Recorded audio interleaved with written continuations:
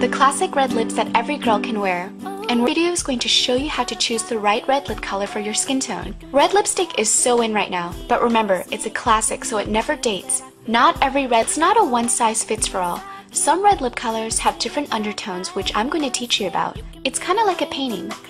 Here I'm taking a red paint color with a cooler undertone and I'm going to paint it on this canvas which has a warm undertone. Now I'm going to take a different red color with a more orange or warm undertone and I'm going to apply this on the same canvas.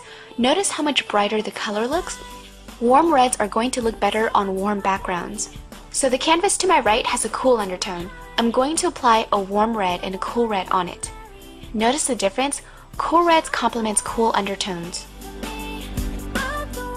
So how do we figure out our undertone color when it comes to our complexions? With cool undertones tend to have a pinker hue to their skin. A cool red will instantly brighten their complexion. Another method is trying on white clothes. Look and compare if a true white or off-white looks better on your skin tone. If off-white looks better on you, you have a warm undertone. If true white looks better on you, then you have a cool undertone. Auburn is obviously warm. She has a yellow undertone that gives her skin that golden look. So, we're going to use a lip color that has a more orange undertone to it. It will complement her skin tone beautifully and give her that radiant glow. Last but not least, my favorite method, which is the wrist method. Make sure you're outdoors for this, you need natural lighting. Look at your wrist and look closely at your veins. Are they blue? Then that means you have a cooler undertone. If you're olive, that means you have a warmer undertone because when yellow is mixed with blue, which is the color of your veins, it turns green. If you can't tell and you tend to look good in both gold and silver jewelry, then you're neutral.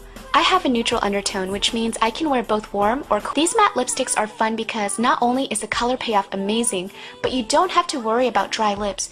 These formulas are rich and hydrating without sacrificing the matte finish. So, don't be scared to wear loud colors because a matte texture will keep the look understated. I just recommend keeping the rest of your makeup simple, especially your eyes if you're going to play up your lips.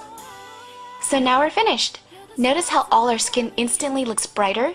Thanks to understanding and recognizing our undertones, we were able to select the right red lip color to complement each of us. So have fun finding your right shade. A red lip never dates.